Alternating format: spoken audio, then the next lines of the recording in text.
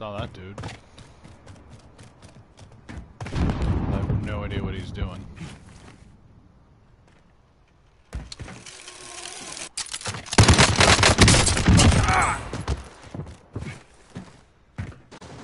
Hmm. Alright then. That was interesting.